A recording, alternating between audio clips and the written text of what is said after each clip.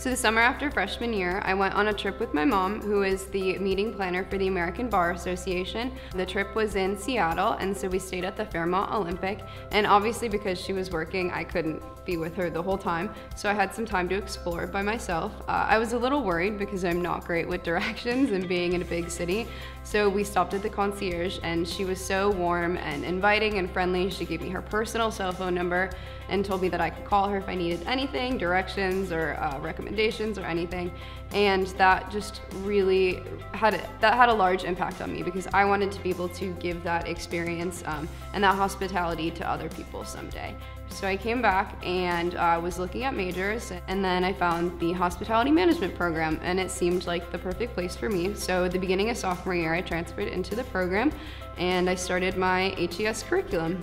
After my sophomore year, which was technically my first year in the hospitality management program, I met with uh, Miss Milstead again to do our annual advising, and she saw that I was so far ahead of my gen eds and everything that I would be able to graduate a year early, which I didn't want to do because I was on scholarship, and why would you waste the opportunity. I also didn't think I was ready to go and get a real person job yet. So she recommended that I should do the accelerated master's program, um, which is where you take the master's section um, instead of the undergrad section. And so the hospitality management uh, master's program is all online. So junior year is when I started integrating the um, online master's program courses with some of my other in-person uh, on-campus courses.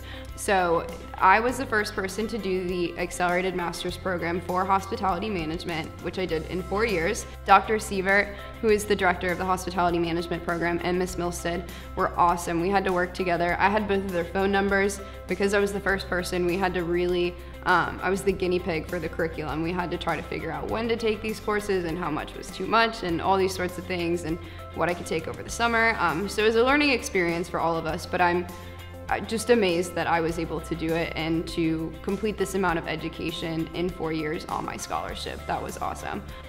Just the combination of the warm weather, the football, the friends that I've made here, the Blount Scholars Program, the Blackburn Institute, and the the hospitality management program, all these things coalesce into uh, honestly like a perfect college experience. I am so grateful to the state of Alabama. I consider myself an Alabamian now. Um, it's just, I've had a wonderful time here uh, by, by taking advantage of opportunities, maximizing them.